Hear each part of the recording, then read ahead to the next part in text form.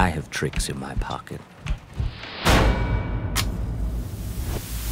I have things up my sleeve. But I am the opposite of a stage magician.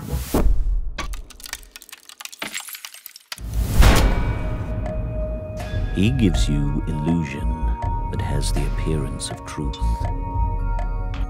I give you truth in the pleasant disguise of illusion.